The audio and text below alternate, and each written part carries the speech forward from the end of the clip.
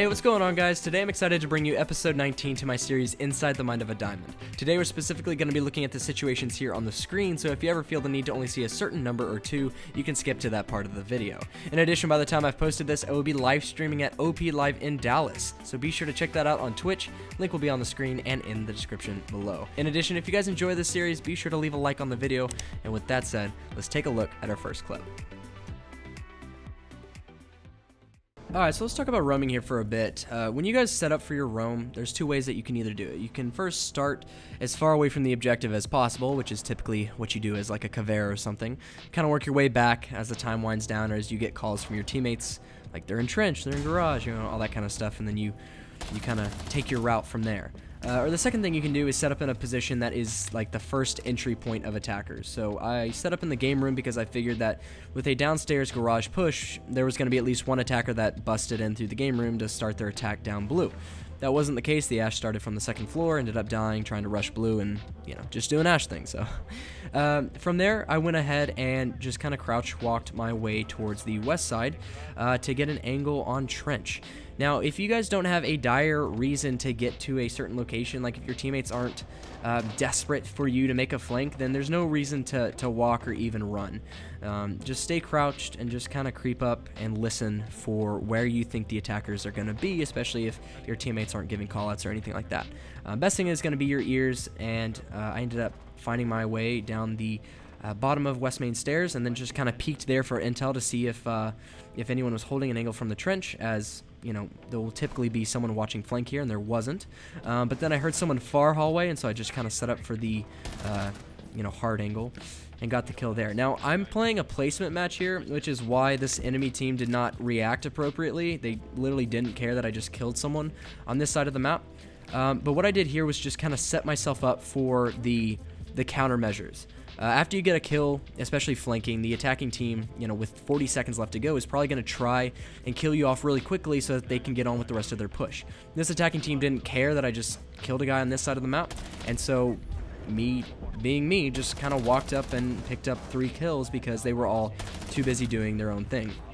So in a Platinum Diamond type match, expect that once you get that first kill, you basically um, expose yourself like, oh, hey, this person is on flank uh, just know that you are going to be met with aggression, typically.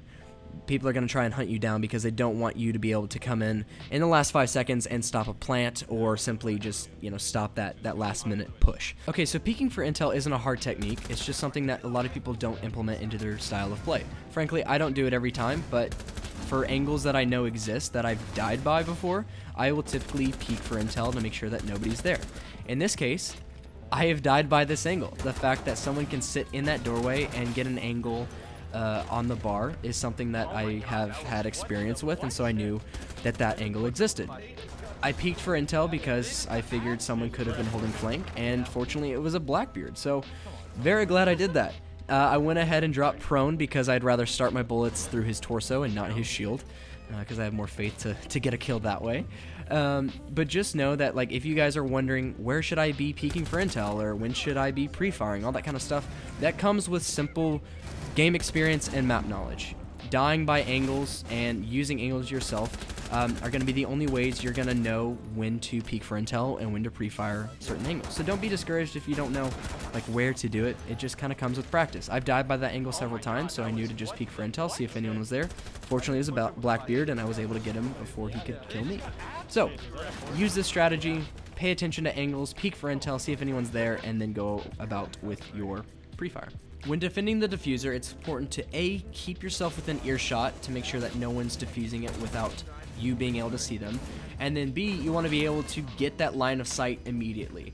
Um, which is kind of hard because you're trying to hide yourself in the event that a defender decides to forsake the defuser and try and find you. You want to make sure that they have a hard time finding you, um, but then you also want to set yourself up in a very protected area. Being behind this reinforced wall here wasn't protective enough for me because anyone can hop out of that bathroom window and then jump here into the small tower. And so I went ahead and pushed into the dining hall because this corner was reinforced on both sides. So sure, I'm overexposed to anyone that does actually push dining, like I'm not holding a pixel peek or anything, but it allows me to only focus on one angle, which is the guy pushing from dining. I don't really know if I have much to say about rushing site besides keeping your gun up and always ready to shoot people. Uh, I mean, if the uh, if the rush goes properly like it does here, the defending team won't know what's happening and they'll rush like worker ants to their to their queen, their queen bee, who's eating a bullet on sight. Eating, eating, something like that, right? Vocabulary, I don't know. Um, but heck, if you guys take site, just be aware that the enemy team is to be pissed and probably to sprint back to site thinking, oh my gosh, we got to reclaim what is ours and you can capitalize and you can you can clap them all. So um, this was more of a joke because there's really no technique behind rushing site besides keeping your, your reticle up and keep yourself moving and ready to, to frag out. If you guys haven't already picked up on the fact that aggression goes a long way in Rainbow Six, then you are severely missing out. Uh, confidence and aggression seem to work better than well thought out strategies sometimes. And I mean, this is coming from an Ash main, and so obviously I have my own little bias there, but I'm being serious when confidence really stands out in Rainbow Six because most people are pretty timid, if you haven't noticed, about saving their life. Since this is a, you know, one life per round type of deal, everyone seems to be decently timid when it comes to like what they're peeking, how much they're moving, or, you know, heck, even when they should like just full send it into site. And what I want you guys to just experiment with is that confidence. Experiment with the aggression of just full sending into site and testing your ability to frag out and, you know, find enemies quickly. Um, this may not be something that you have, you know, do in ranked uh, right off the bat, you know, since you know you're, you're, I guess, threatening elo at that point.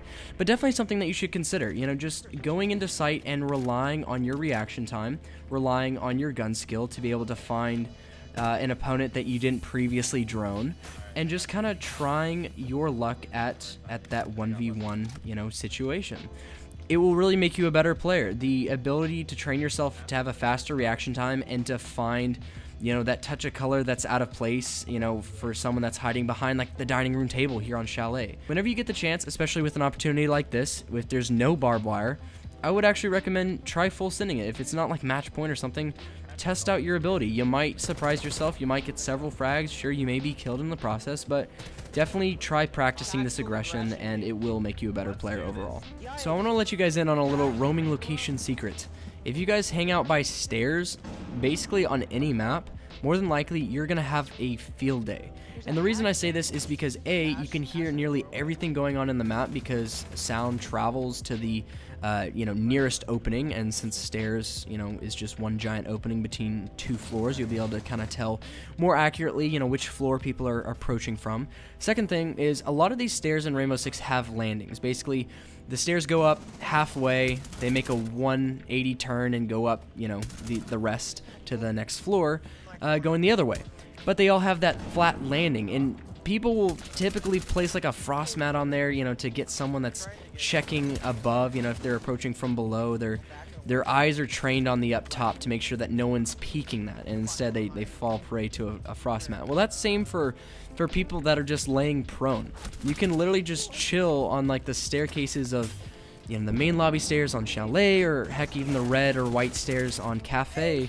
You can just chill there and since people are always so concerned about like the hatch on red or the balcony on white, you can just chill there and get easy frags from people that are distracted.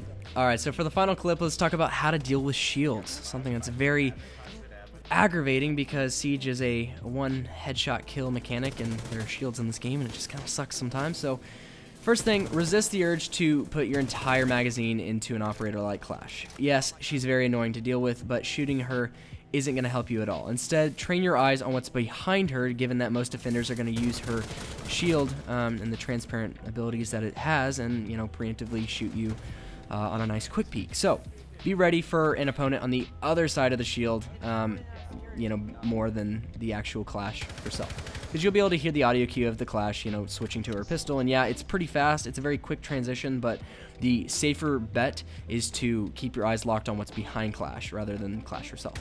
Second thing, dealing with shields in general is pretty easy if you can get them to round a corner. Uh, creating that uh, separation of visibility is really, really pertinent to being able to take down a shield operator because they're typically pretty aggressive because they have a shield and you don't, and so they, they typically push you thinking that you're hopeless and can't fire back or anything like that. But your best countermeasure is to get them to round a corner and then preemptively knife uh, once you get that audio cue that they're you know just on the other side. So that's what we did with the Clash. That's what we did with the Blitz. Preemptively knife corners, get them to round that, you know, and lose that visibility so that you have the best chance at knocking that shield away from them. That's all I have for today, guys. Thank you all very much for watching. Hope you enjoyed the video. If you haven't already, give me a follow over on Twitter and Instagram. I would greatly appreciate it. And then I'm probably live over on Twitch, so go give me a follow over on there. Link in the description below. Would love to hang out with you guys and talk with you in the chat. Take it easy, guys, and I'll see you in the next one.